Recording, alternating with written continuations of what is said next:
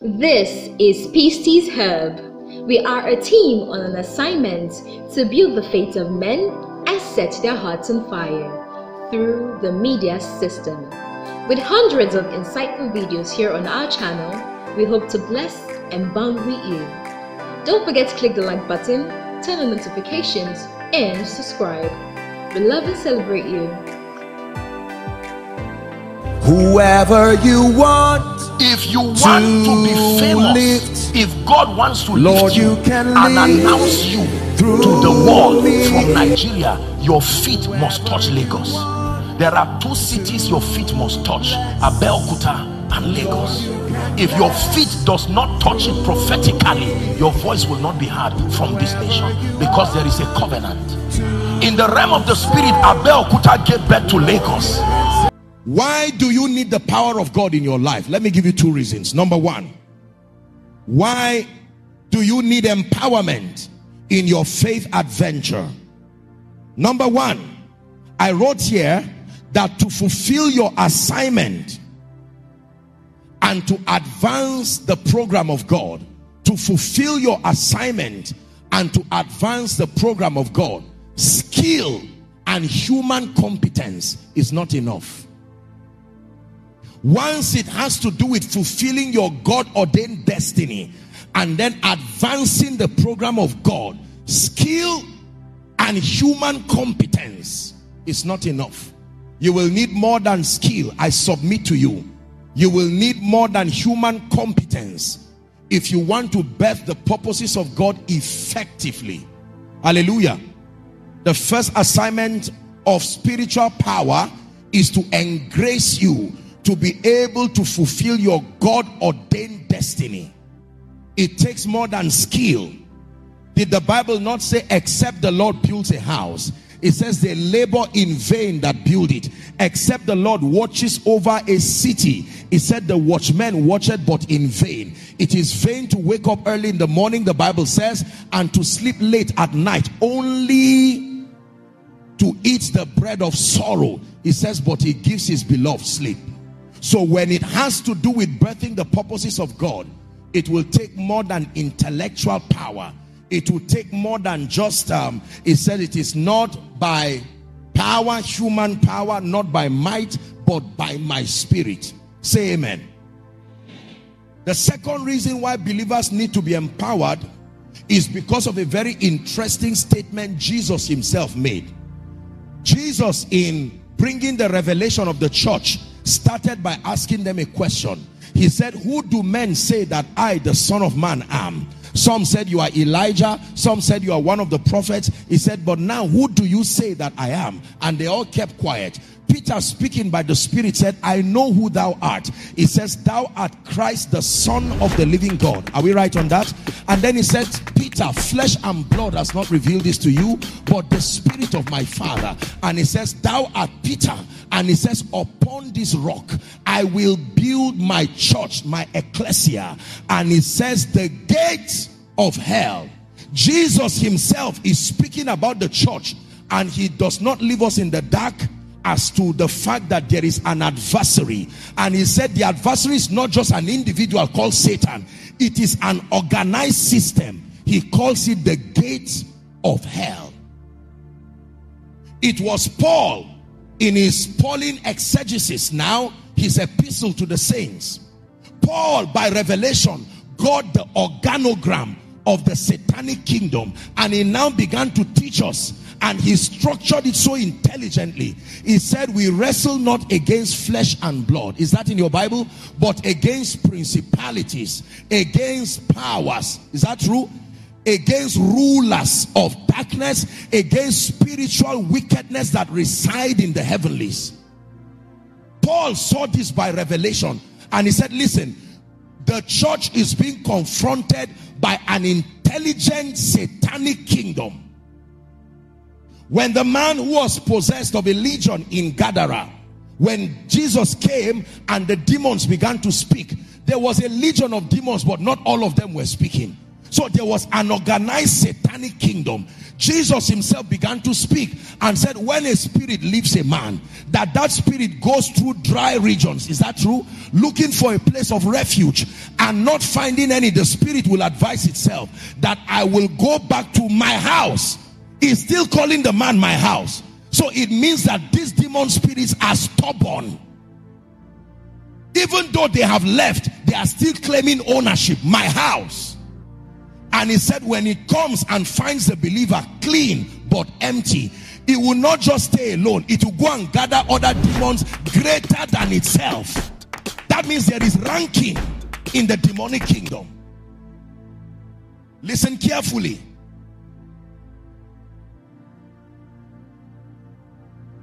When Daniel came to Babylon and God was lifting him through the efficiency of his prayer life, there were spirits that operated the spirits of the Medes and the Persians. Are we together now? These spirits observed that there was one man whose prayer life and spiritual understanding was corrupting the program of hell. It, it seemed to be crippling that antichrist system. And those spirits started working through people in government pass a law, to pass a policy that to prohibit prayer for just 30 days. That was the only allowance Satan needed to wreak havoc within a territory. Listen to me. If you must bet the purposes of God in Yola, let me announce to you that there are spirits in every region that predates the people who came to that region. Whether you believe it or not is not the issue. You understand? Jesus himself acknowledged himself as the head of all principalities. He acknowledged their existence. And it is spiritual naivety, I tell you sincerely, to ignore the reality of the dark kingdom. Many people do not know Satan's determination to destroy the program of God. You want to know how determined Satan is? Study the book of Job. That he was coming to and fro the earth. Have you gone around the world? Have you gone around the earth even once? Yet Satan has that energy to keep going from pillar to post, searching for men who are serious with God, searching for men whose destinies count. I hope you know that Satan afflicts everybody, but in this end time, he's not looking for everybody. There are men who are equal to nations. These are the ones he's looking for. Rather than destroying 5,000 people in Yola, that's too much work. He can zoom his attention on one rising prophet, one rising church, one rising apostle, because in your destruction is the destruction of others. So when Satan heard that a deliverer called Moses was born, look at what Satan was doing. To find Moses, he killed every child because he was looking for one person. One. Same thing happened when Jesus was born. Children cried. The Bible says there was lamentation and weeping in Ramah because one person. Do you know that for God to have brought you for this conference, whether you are inside or outside, this is a prophetic convergence. It's a sign that there is something about your destiny and there are many destinies that are connected to you. And let me tell you the truth. When Jesus came as Savior, because I hope you know that Satan is not that accurate. Even Satan did not know who the Savior was. So from Genesis, he has been looking for who is the Savior. He thought it was Moses. Then he thought it was Joseph. Once he suspects that you carry the DNA connected to salvation, he starts attacking immediately. From the killing of Abel by Cain down to the killing of John, everything was an attempt to look for Jesus.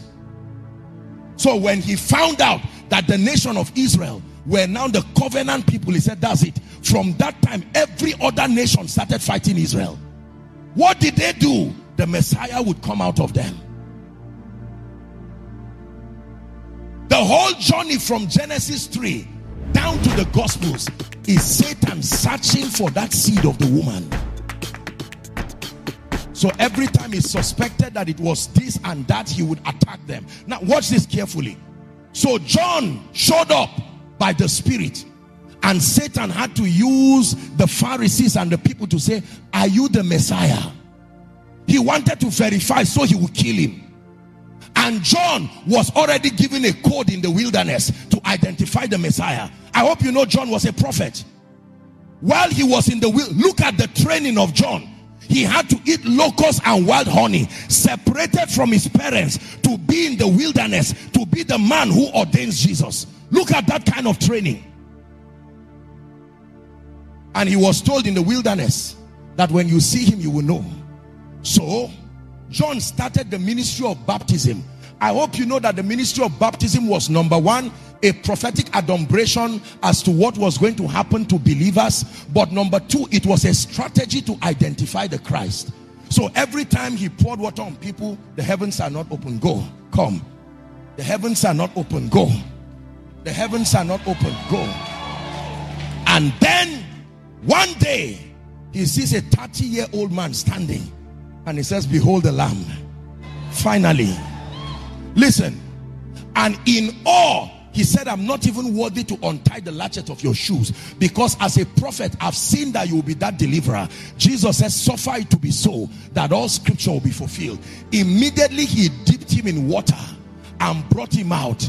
God said, Satan, there's no need hiding. This is my beloved son. That beloved son. Now, watch this. The moment God announced it, the Bible says the Spirit drove Jesus to the wilderness. Satan suspended every other assignment and was waiting in the wilderness. Is it not in your Bible? Nothing else became a serious thing for Satan. He waited patiently till Jesus was done fasting. And he said, Jesus, let's discuss. You can bow down to me and I will give you all the glories of this world. I don't have time. I would have taught you about the mystery of this she goddess in Revelation called Jezebel. There are two main strategies alignment and threat. So when you start, it is a principle of alignment. They want to be part of you. But if it does not work, they will threaten you. This is that you read all through scripture. Every time you see the manifestation of the spirit of Jezebel, she wants alignment. And if the alignment does not work, they will use force. Are we together? Do you know why John was beheaded? Look at me. You know why John was beheaded? The anger that the devil had, that so he knew the Messiah and he kept that code I am the voice of one crying. The same way, I hope you know he came in the spirit and the power of Elijah, the Bible says. And the same way Jezebel was looking for the head of Elijah, that is the same way Herodias. The same is the same principle. Because John the Baptist is a prophetic and apostolic spirit that foreruns revival. Every time the move of God is about to show up, John must show up.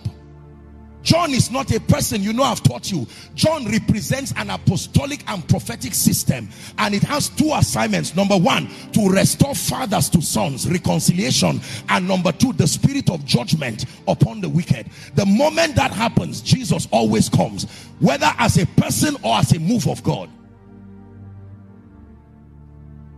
Are we learning now? So I'm speaking about power. Without power, you will never be able to achieve the purposes of the kingdom. Please give us Psalm 66 and verse 3. Write it down, please. Psalm 66 and verse 3. Power is coming upon someone's life tonight. In the name of Jesus, the Son of the living God. The Bible says, Say unto God, let's read together. Say unto God, How terrible art thou in thy ways it says, through the greatness of thy power shall thy enemies submit themselves. Not through the greatness of your discussion, not through the greatness of your English. The language that the realm of the spirit understands is power. Acts chapter 10 and verse 38. Peter, while he was preaching the gospel in the house of Cornelius, speaking to the Gentiles for the first time. He said, How God anointed Jesus of Nazareth with the Holy Ghost and with power. He went about by that power doing good. It takes more than compassion to do good, it takes power. He went about doing good and healing all they that were oppressed of the devil, for God was with him. Are we still together? For God was with him the messianic prophecy in Isaiah chapter 61 it says, The Spirit of the Lord is upon me because the Lord hath anointed me to preach glad tidings to the meek. He had sent me to bind up the brokenhearted. Are we together? To deliver them that are bruised, them that are captive, and so on and so forth. All that by the power of the Holy Ghost. Even Mary said, How shall these things be?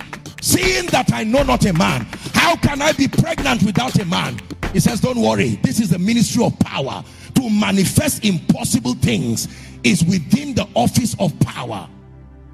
It says, The power of the highest shall overshadow you.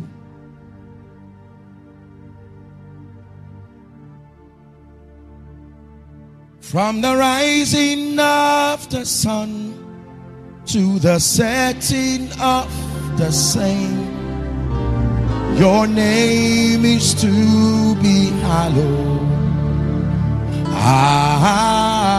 Adonai.